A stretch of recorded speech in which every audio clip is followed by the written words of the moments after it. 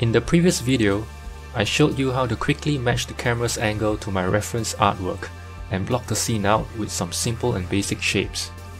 In this video, I'll be showing you how to light the scene. Usually, the lighting phase comes near the end of a project when the texturing phase is done, but I want to roughly set up the lighting now as it would determine the placement of some of the props later on. Hi, my name is Ken Liang, and welcome to How to Make a Dark Souls Boss Room. Lighting is one of the key elements that sells the look and feel of a Dark Souls environment. If we take a look at reference images for Dark Souls artworks, we can see that a lot of them have this heavenly rays effect that creates a really atmospheric feel. To do this, we will be creating a volumetric lighting setup in Eevee, because you get to see results in real time and it looks really great. First of all, we need to add a cube and scale it up just enough to cover the entire scene.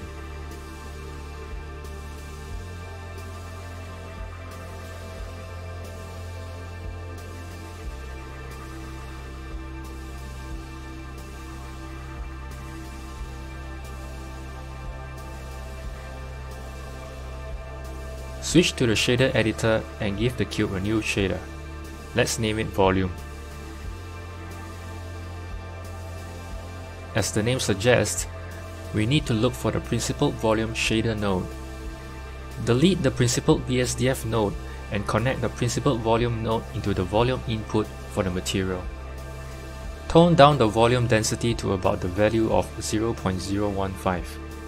Change the viewport display for the cube to display as wire so that it would not interfere with our view in the viewport.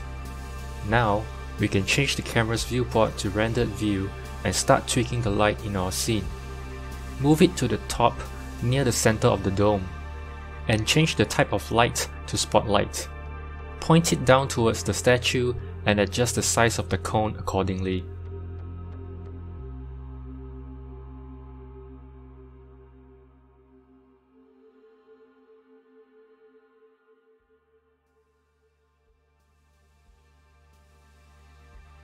Don't forget to change the background color of our world to pure black.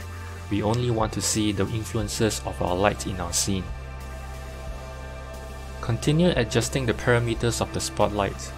We want to get the light on the edges of the statue so that we can easily read the silhouette of its pose.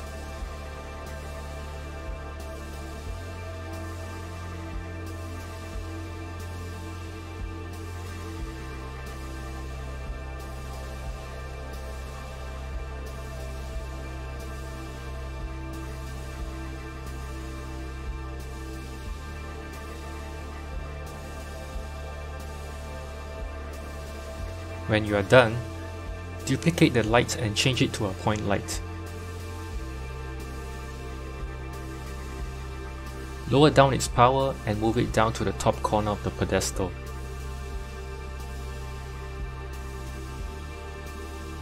This will act as the light source from candles, so give it a red orangey color.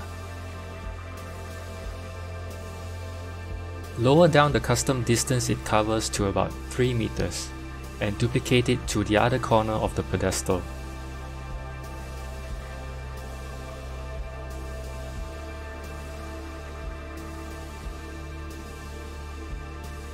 Now, duplicate it and move it to the top where the chandelier would be. We want to fill up the dark areas on the statue near the face and upper torso. You can switch to wireframe view to match its position to the chandeliers on the reference artwork.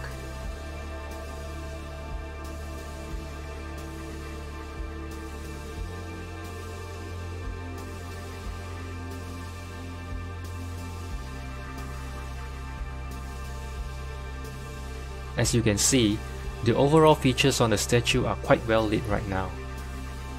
I want to continue tweaking the lights so that my focal point is near the face.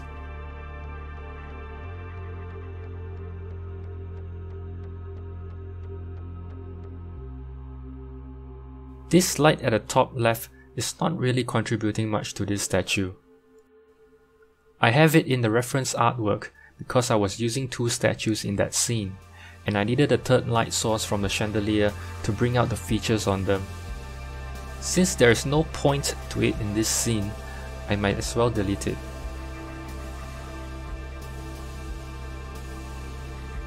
Here, I give the point lights a larger radius so that it casts softer shadows on the statue. I also reduce their power so that it doesn't overpower the spotlight.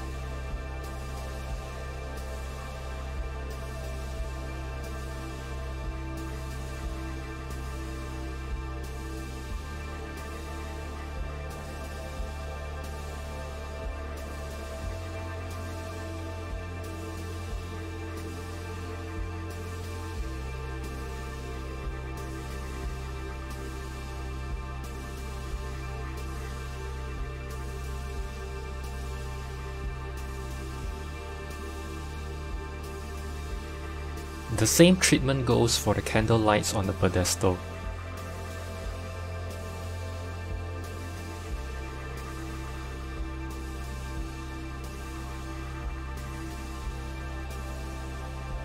Next, duplicate some of those and scatter them on the ground to light the pedestal and its surrounding.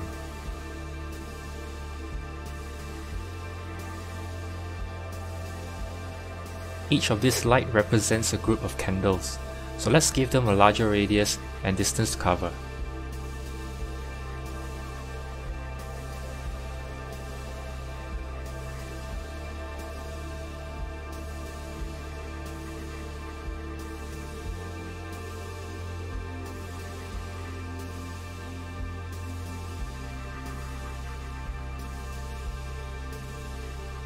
Put one at both sides of the off-screen area to light up the sides of the pillars.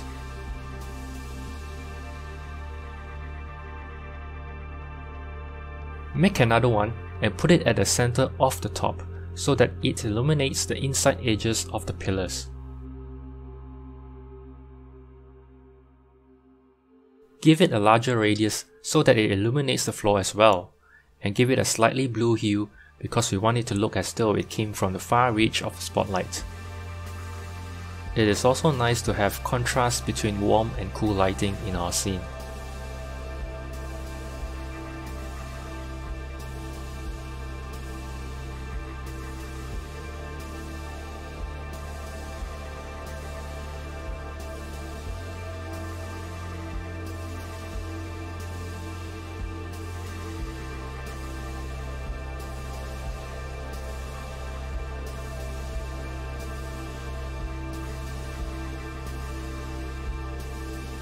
We are done with the lighting setup for now, but rest assured that we will continue to make adjustments as we fill our scene with props and other details. In the next video, I will be showing you guys how to model the bookshelf for the pedestal in our scene. Thank you for watching, save your file, and I'll see you in the next video.